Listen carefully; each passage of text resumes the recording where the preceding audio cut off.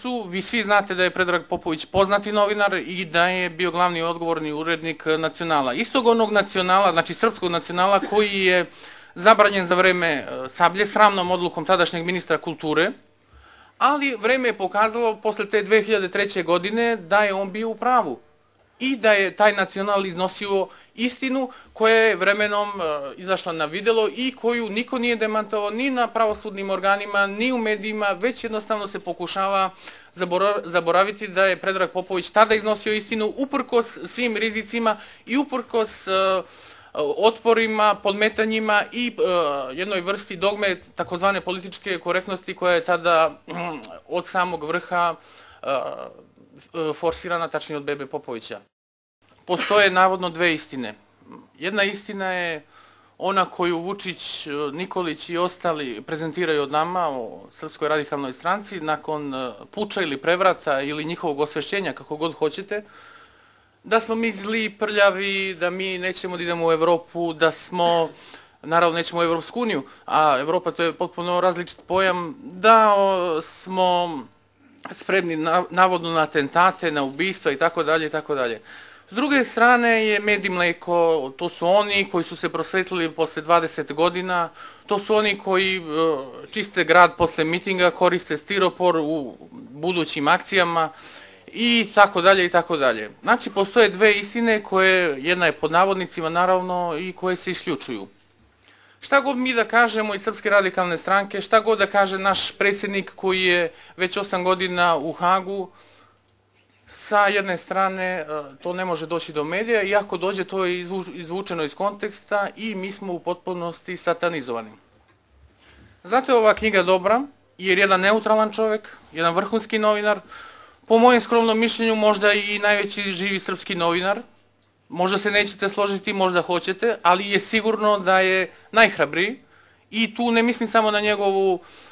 hrabrost u doslovnom smislu, u fizičkom smislu koja mu ne manjka, verujte mi, već mislim i na intelektualnu hrabrost koja je sada veoma potrebna. Ja mislim da se radi pre svega o dokumentarnoj knjizi i to je vrlo žalostno zato što se radi o onome što nas čeka i o onome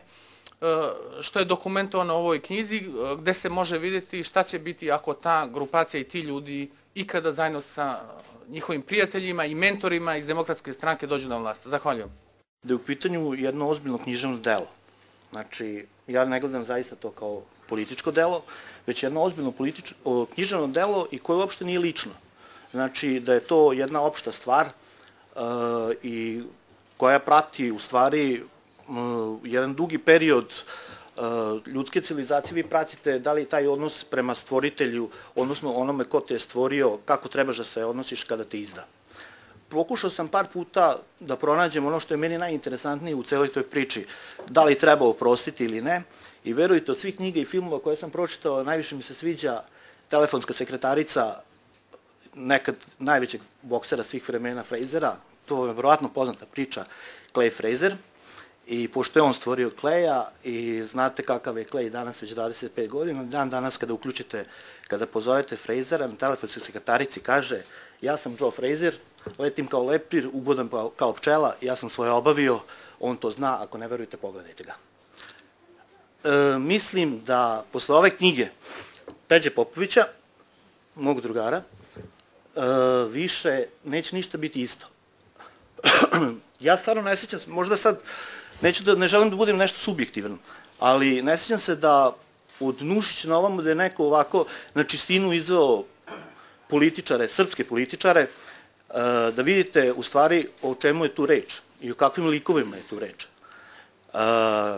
najbolje možda, ali to je isto pitanje šta, kakvi smo mi koji ih biramo, takve kakvi su. Ali cela knjiga i kada, kako je god čitate, znači od prvog do poslednjeg možete da uzmete bilo koji pojam,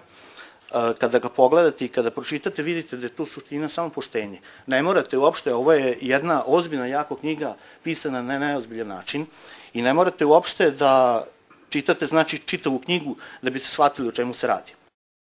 Aleksandar Vučić je u svet politike ušao davne 1993. godine, kada se učlanio najjaču političku opozicijonu stranku, Srpsku radikalnu stranku,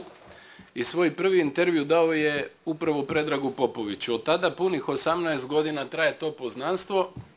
od kojih je pune tri godine Popović uređivao pravdu i u to vreme oni Vučić su bili najbliži saradnici. Ovo dugogodišnje poznanstvo omogućilo je Predragu Popoviću da Vučića, njegovu ličnost, reakcije na događaje, pojedince i pojave iz njegovog okruženja upozna i prikaže